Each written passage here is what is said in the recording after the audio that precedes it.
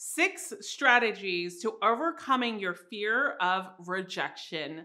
Hi, guys. My name is Apollonia Ponti. I'm your dating, life, and attraction and relationship coach for you men, not only to master your attraction skills, to build the life and create the relationships that you want. And we're going to talk about the most common thing that so many of us feel alone in, but all of us mostly fear one way or another or have feared, and that is rejection. So let's get started.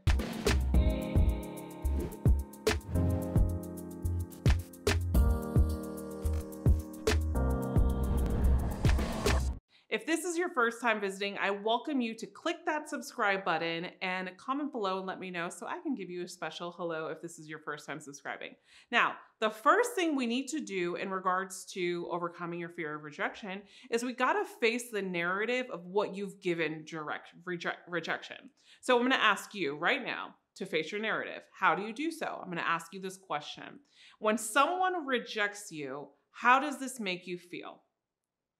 Right there is the narrative that you've given rejection. So you believe that that narrative is true. So, example, when someone rejects me, how does it make me feel? Maybe your answer was that I'm stupid, or I'm not enough, or that I'm not desirable, or that um, I'll always be rejected, right? So let's take the last one that I'll always be rejected, right? But is that really true? That's the narrative that you've hanged on to. And that's why you fear that because you believe that you will always be rejected. You believe that you are not enough. You believe all of these negative narratives. So instead, you've got to really face not only a fear of rejection, but you've got to question it. Where does this come from? How have I given it meaning? Right? Because the only person that has made it true is you. Because I guess what? You've never been rejected every single time in your life. There's never, there's no way. No human has. And so with that said, a lot of us have faced rejection. That's where we can we can understand it. I face rejection daily, probably monthly, but I don't give it a story and a meaning. So I don't see it in my life as rejection every day. There's a difference. So, number two is catch your negative self talk. A lot of times, um, we are our own worst, criti- worst critics in life. And the way we talk to ourselves is literally never a way we would ever talk to anybody we loved. But when we talk to ourselves, we really have to figure out how we talk to ourselves. So, one of the things I want you to do is I want you to analyze what stories you're telling yourself when you look at yourself in the mirror what do you do when you're rejected what do you say to yourself when things don't go your way what do you say to yourself how do you cross examine your behaviors and how do you talk to yourself and the things that I want you to do is really define it and, and catch yourself. Either write them down in a journal or write them down in your notes when you're going about your day. Now, we have thousands and thousands and thousands and thousands of thoughts a day, and all, more than 50% of those thoughts are negative thoughts as humans. So we have to really take accountability for what thoughts we're creating in our mind and say it out loud and say, This is not true right? One thing that I do for myself is every time I have a negative thought, I go cancel, cancel, cancel, cancel, cancel, cancel, cancel. I literally do this all day, every day. I'm dead serious. I've never even mentioned this in a video. That this something this happens stays in the present moment and catches the thought and I cancel it out. Next thing is expect the rejection. All right.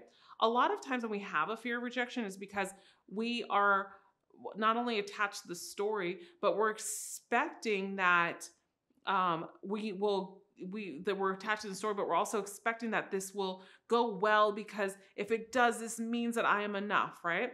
Expect to re- be rejected from time to time. Understand that the best people, the people that you follow, the people that you emulate, the people that you desire, I mean, the desire you or find motivating or that you like have been rejected as well. You know, rejection, people say rejection is redirection, but also too, rejection really is a part of life and so it's about understanding that this is something that's always going to be in our life and it's about creating a relationship around it. Sometimes I'm not even aware that I get rejected because of the fact that I don't define it as something that is a part of me. So I ask you, how do you define it as something that's a part of you? And how can you start expecting rejection so you can get better with the expectations of rejection so we can look at it differently? Next is look at the lessons in them. What did you learn? Here's the thing when I was rejected um, from, let's just say, something important in business, right? When I had to reject someone or I had to uh, be rejected, basically, I looked at it as what did I learn from this lesson that can take me to the next level so I don't have to have this type of rejection in my life again, right? Maybe it's I need to be better at approaching women. I need to um, get out there and approach more women. I need to be more educated in approaching women. And if that's your thing, I want you to watch a video, and it's a secret video. You can watch that next. It's going to be in the description box, all about how to approach a woman and the common things that are going to give you success without rejection. I'll put it right below, right here, so you can watch that video next. And that's a secret video nowhere else um, that you can find it but there. Next is know your worth, right? When we know our worth, like I said, rejection doesn't really lay, it's not like a tail that's chasing us all the all the time and we remember it. When we know our worth, we know that we're rejected by the things that are not going to serve us and we are not rejected by the things that do serve us, right? That are better aligned for where we are in our life right now and and today. So what a lot of times when we don't know our worth, we are looking at other people to define our eligibility or our worth for life, our worth for relationships, our worth for our career, our worth with money, our worth with our jobs, our worth with our family. And so you're always grasping for straws to really get answers from everybody else when you have the answers within yourself all the time, guys. And the next thing is turn avoidance into action, okay? What do you avoid in your life so you don't have to face rejection? Do you avoid hard conversations? Do you avoid talking to women? Do you avoid approaching women? Do you avoid having setting boundaries? Do you avoid being assertive? Do you avoid asking for the raise? Do you avoid um, setting goals for yourself? And then ask yourself, what in my life do I avoid? And put those into action. Because a lot of times when we have avoidance in our life, we're not challenging ourselves in different areas of our life that rejection weighs heavily on us or more heavily on us, right? And so when we have rejection like this in our life, and we don't have other things that we love or look forward or challenge us that give us that confidence, we take rejection 10 times more than someone that has that confidence in their lives to know that the rejection does not define my worth and I take action in my life and I just don't avoid everything.